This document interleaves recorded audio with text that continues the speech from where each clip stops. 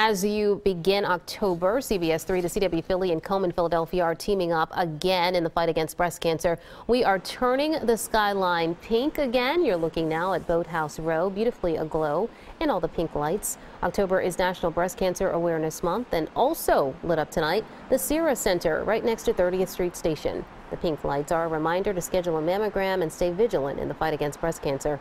You can find more information on our website, cbsphilly.com.